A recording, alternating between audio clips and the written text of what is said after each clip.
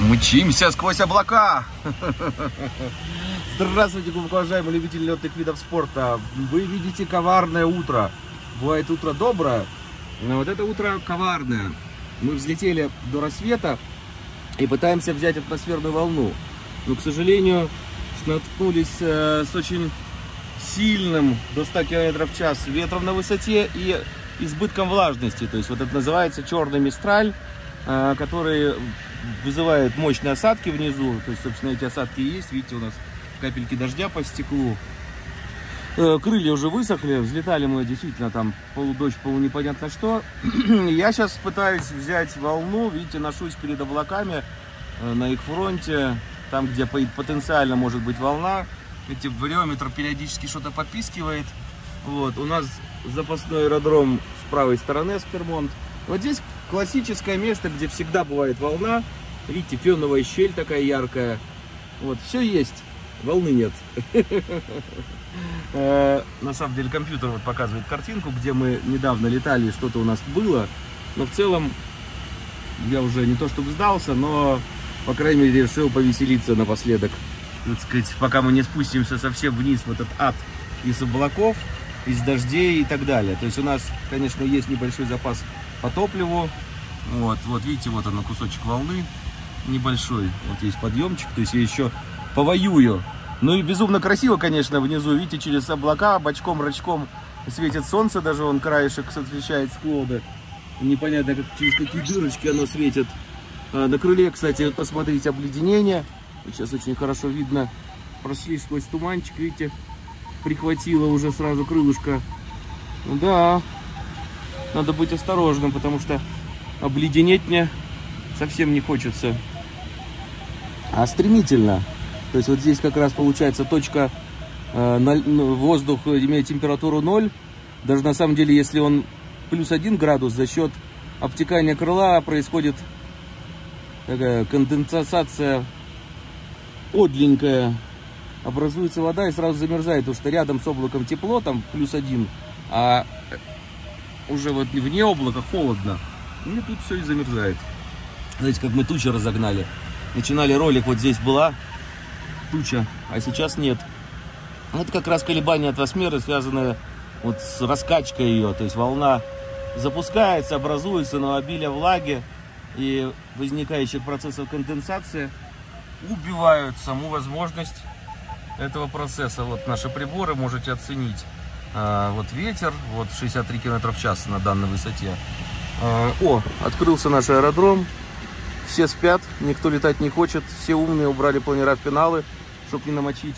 А все глупые вот сейчас носятся. Вот перед нами выплюнуло следующее облако. Видите, не было, только что не было ничего. Раз, уже образовалось. Ну, конечно, нужно держать ухо ой, и хвост востро. И никак по-другому. Ну, мы тут уже в этом месте тертые калачи. Естественно, если что, сразу на посадку.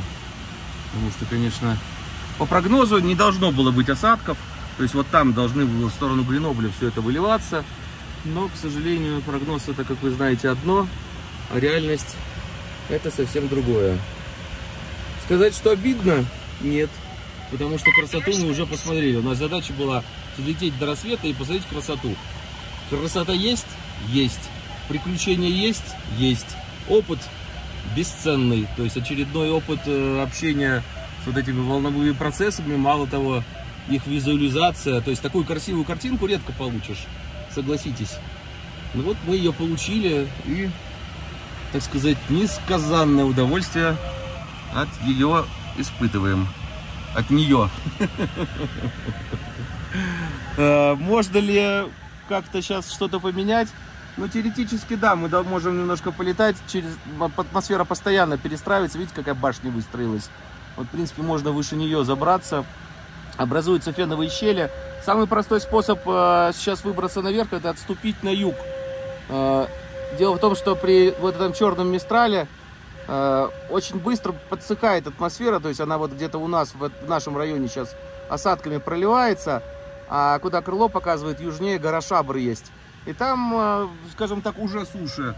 Дальше идет гора Люр, еще суше. Дальше идет классический Прованс солнечный, где совсем сухо. Собственно, наша долина в обычную погоду, она является первой по ну, какой-то видимости. То есть вот если вот туда посмотреть в сторону Гренобля, я даже не знаю, как там люди живут. Там сейчас сущий ад, льется тонны воды на землю, дожди снега такого, и ничего хорошего не сулят им, так сказать, эти мистралевые осадки. Э, но это при мокром мистрале. При сухом мистрале там чаще всего просто облака такие мрачные, солнца нету. И вот едешь иногда... Я вообще в это место первый раз попал. Опять же, вот там гора Шабр в 20 километрах. Мы летали в Анси на парапланах с группой. И э, девушка одна, Карина, дельтапланеристка из Красноярска, она говорит, а я вот знаю, как классную горку, где летают, и где точно будет солнце. Говорю, как может быть солнце при таком дожде? А у нас в Анси поливает, просто аж дым идет. Она говорит, нет, там будет солнце. Мы садимся на автобус и едем, ну, от Анси это где-то два с половиной часа это место. И действительно, вот как проехали вот эти перевалы, вдруг по волшебной палочке чпок, вырубили осадки и пошел ветер и, так сказать, солнце. Единственный момент был, что ветер был достаточно сильный и летал только у нас Алепов Андрей на таком навороченном акропараплане. Я же смотрел на планерах, это был 11 год, я уже начал летать на планерах, смотрел вот, вот такими большими глазами, как они летают мимо, и на самом деле посадка на площадку для планера редчайший случай. Но я вот смотрел на них, думаю, вот бы один потрогать. И представляете силу, так сказать, человеческой мысли? Вот будьте осторожны в своих желаниях. Ну, используйте вот эту энергию в каком-то позитивном направлении, а не как вот это. Э, э, один планер заметался и приземлился на площадку. Я уже эту историю не раз рассказывал. И мы помогли ему. Я, конечно, планер вслазь потрогал, потому что ну, был удар об землю, взрыв какой-то там, а я на горе вижу, из, из планера никто не выходит. В этот момент э, говорю, кто у меня самый большой в группе, мальчик один говорит, я. Я говорю, сколько весишь? 120. Молодец. В тандем его и прыгнули, значит, э, ну, ветер сильный, но стартовали нормально. Приземлились, казалось, взорвалось шасси. Джон, американец, который летал здесь, он в отпуск, нейрохирург, приезжал, Э, весь такой э, ходит. Ну, потом сначала на нас немножко как бы порычал, потом понял, что мы вообще помогать будем. Сразу стал добрее. Вот мы действительно помогли. И самое интересное, потом, года через три, вот крылышко показывает, видите, городочек Лоботин отселен, там продавали такую виллу красивейшую за 350 тысяч евро. И вот Джон хотел ее купить. И приезжал, пришел ко мне домой, вот я забыл его совсем и он меня забыл. И мы общаемся на тему, он говорит, ну ты дом купил? Я говорю, ну да, ну это какие там налоги, какие там то, ему все рассказал. Он говорит, слушай, я тебя где-то видел. Я на него смотрю, говорю, и я тебя. А как, говорит, вообще ты попал? А я, говорит, в одиннадцатом году вот приехал на Шабр, и там один маньяк под Шабром бабахнулся. Так это ж я. Представляете, друзья, как вот получается. И мы, да, э, на аэродроме фактически он там через, проехал через несколько лет опять с Америки полетать. Он все зовет меня в Соединенные Штаты. Джон, привет большой, если смотришь видео. Приезжай, полетаем. А потом как-то с Джоном мы летали на границу с Италией. Э, и прям до границы была великолепная погода. Он говорит, как вообще ты в горах летаешь? Ну, а Клаус меня немножко научил. И э, я говорю Джону, да слушай, вот хочешь сегодня дунем за час до Италии? А была такая грозовая погода. Он говорит, ну как, до час прям долетим? Я говорю, конечно. Час туда и 40 минут назад. И я поставил ACDC, но потом, сначала просто вот здесь вот на этих холмах достаточно сложно выкарабкивались, выкарабкались, набрали высоту, и потом прям выстроилась огромная гряда в сторону, так сказать, Италии. Мы долетели до горы Монтевиза, набрали там 4 километра, развернулись и вдоль грозового фронта как дунули под ACDC сюда. В общем, Джон все время выл там в воздухе unbelievable, а когда приземлился, значит, вот, подошел ко мне, обнял, говорит, Волков, говорит, и Игорь говорит, если бы ты это, если бы я был женщиной, я бы тебе отдался. Я говорю, нет, нет, Джон, мы не, не, не в таких, так сказать, отношениях. Ну, шутка, конечно. Но он к тому, что говорит, я, говорит, в шоке. Со мной никто такого еще не делал. Ну, вот так такие истории, как я пропал, попал, пропал в Провансе и так далее. Так, ну что, а, видите, как долина преобразилась, пока мы тут летали. Видите, распалась опять вся облачность. То есть с чего мы начинали. Но вот внизу видны вот эти осадочки всевозможные. Вот под нами этот полуливневый такой полуснег, полудождь. Ну, вообще тепло. Ну, вообще 3 градуса на земле, так что может и снег быть. Очень красиво и надо что-то делать. Вот что делать я пока не придумал. Пока снимал ролик, я в каких-то ноликах болтался. Но сейчас нужно план кардинально менять. Сейчас, видите, почистилось все. Вот крыло показывает на гору. Ажур называется гора. И я вижу, что там, возможно, стоит волна. Образовалась феновая щель. Вот, феновая щель. Я сейчас туда перелечу и попробую там взять волну. И полечу вверх, красиво. Вот, помашу ручкой нашему аэродрому и отправлюсь за приключениями. На скорости 150 км в час мы меняем дислокацию. Вот гора Сен-Жени, как я вам говорил. Пролетая мимо нашей горы э, Рамбор. Следующая гора Шабр, на которой можно будет полетать. Видите, все почистилось. То есть вот эти вот осадки утренние, вот этот ад был недолгим. И я очень надеюсь, что на горе Сен-Жени мы все-таки сможем взять волну. Вот эти, нам для этого надо попасть вот к тому облачку. Это турбулентность атмосферная проходится. Именно для того, чтобы в этой турбулентности выжить, мы подтягиваем себя ремешками. Видите? Утренний Прованс еще спит. Мы спим, горы спят. Все спит. Метр секунду Видите, друзья, мы на Сен-Жени таки долетели. А, крыло показывает на следующий запасной вариант Шабар. Но на Сен-Жени вроде как пик-пик-пик. Тоже немножечко что-то есть. Пытаюсь работать в этом нечто. Если все-таки это не сработает, то отступим на Шабар. Но можете наблюдать, опять же, как красиво вот выплевывает ротором вот эти вот облачка. Вот они как раз там показывают, что здесь есть восходящая движение атмосферы, которое мы можем использовать в своих целях. И вот видно, что на шабре тоже все красиво. Перед шабром огромная облачная конструкция, точнее за шабром. И перед ним тоже, скорее всего, там удастся взять вот эту вот волну. Ну, собственно, и здесь, видите, вот. О, как хорошо. Наконец-то есть энергия. Вы, конечно, можете подумать, например, парапланеристы, кто волны не брал, что это обычный динамик, но это не динамик. То есть динамик все-таки это несколько другое. Да, похоже, да, вот видно, что вроде как выплевывают облака, но почему именно волна в этом месте? Дело в том, что ветер, не сказать, что он слабый, он кривого направления, и волны образуются таким резонансом. То есть частично участвует динамик, то есть эта гора, скажем так, некоторым образом нормализует движение атмосферы, то есть она его организует. И да, вот здесь вот раз, бац, вот вроде как сначала динамик-динамик внизу, а потом чпок волна. То есть понятно, что на такой высоте огромной уже динамика никакого нету. А подъем достаточно, ну сколько там, ну метр-полтора в секунду. И он такой характерный, ровный, без болтанки. А образуется еще раз как волна, всегда я вам рассказываю, от этой горы воздух так чпунь вниз, бах, потом бах-бабах, отскакивает и поднимается вверх. И вот в этом поднимается вверх как раз мы потихонечку набираем высоту. 2600 метров. Выбрались мы на Санжини, но волна уже иссякает. То есть она уже такое, скажем так, последние вздохи этой конструкции. И надо перебираться в сторону горы Шабр. Сейчас такой вид вам на долину. Там аэродром Систерона. Дальше аэродром Сантобана. А дальше Винон. А, здесь у нас Гапталард. И вот наша долинка, видите, она уже полностью солнце, облака эти под раскидала. Собственно, и волна у нас откуда? От того, что атмосфера после вот этой утренней непонятности и дождливости организовалась уже вот в такую солнечную красоту. Вот вам настоящий солнечный параванс. Там, где мистраль, черный мистраль только присутствует далеко в сторону Гренобля, вот туда.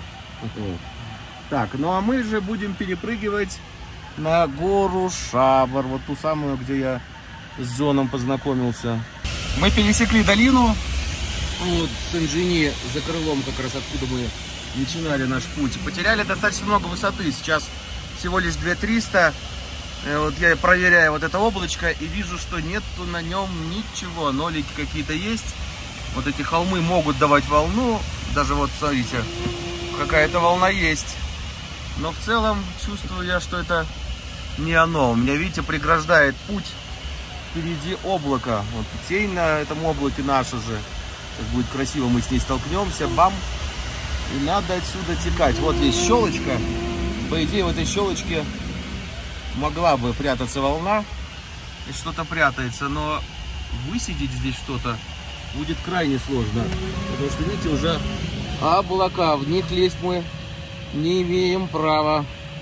Поэтому обходим это облако и сдаем чуть-чуть назад в сторону шабра. Если я попробую вот эту конструкцию, если здесь возможность что-то набрать, получается, что нет. Возможно, на шабре что-то будет лучше.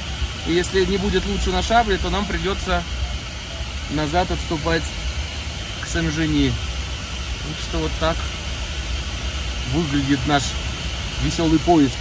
Видите? Гонится за нами наша тень на облаке, видите? Воет изолента противно. Сейчас тень прям параллельно нам летит. Как красиво это, а? Жих по облаку. Так, сейчас вот это облако я перепрыгну. Вот это вот муть, которая образовалась. Утренние шалости в облаках можно было бы назвать это. Эти как Эх, вот это я больше всего ощущение обожаю. Вот так вот несешься. И вот теперь смотрите, собственно, шабр. И вот на шабре мне интересен вот этот карманчик. Вот в этот карманчик, если попробую забраться, и может быть что-нибудь из этого получится. А если не получится, то все, финита или комедия. Возврат назад, пока высота есть. Потому что, в принципе, на горе-то есть динамик, но в динамике мы высоко не выберемся, а вернуться домой нужна высота. Конечно, все говорите, Волков, у вас же есть мотор. Мотор есть, на него нельзя рассчитывать. Вот надо всегда думать так, чтобы как будто мотора нет. Как будто мотор, так сказать, выключился. Но, видите, мой расчет оказался верным. Завыл вариометр. Переставляю закрылок на 5 и становлюсь набор. Вот здесь я смогу вот в этой волне набрать 3,5 километра где-то. А вот эти облака впереди, потом набрав 3,5, я смогу сверху перепрыгнуть. Вот такой вот у меня план капкан. Вот увидите, как выплевывает ротором это облако. И какое у нас доброе и интересное утро.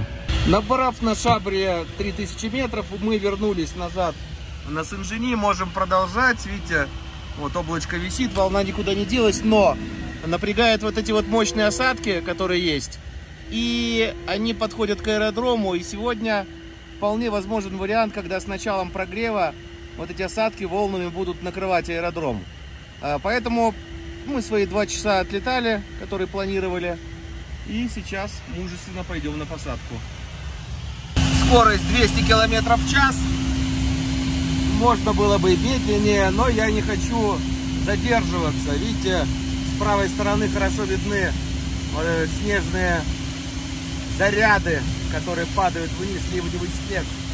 И все это стремительно приближается к аэродрому. Вот эта красота утренняя, когда было солнышко, вот как чистенько все. Вот это вот стремительно ушло. А дальше как будет? Будут волны, то есть будет аэродром чиститься, потом будет находить э, вот такая вот волна осадков неприятная, и опять аэродром будет чиститься. Я, честно говоря, не хочу сейчас рисковать лишний раз.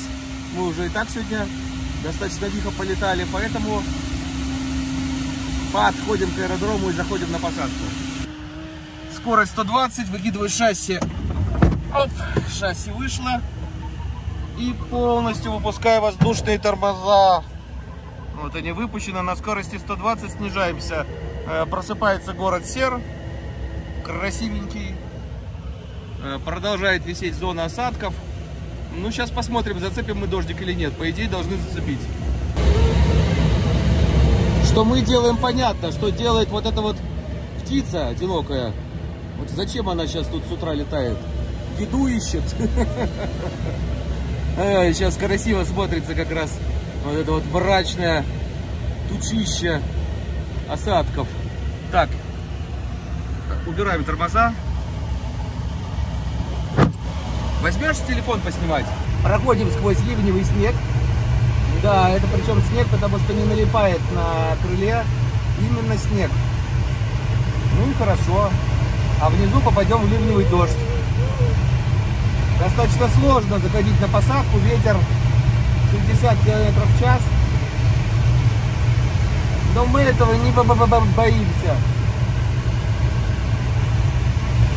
Целый ботинки Виктор Даунин для Норд. Поворачиваю к склону. Естественно, заход будет против ветра. Шасси проверено.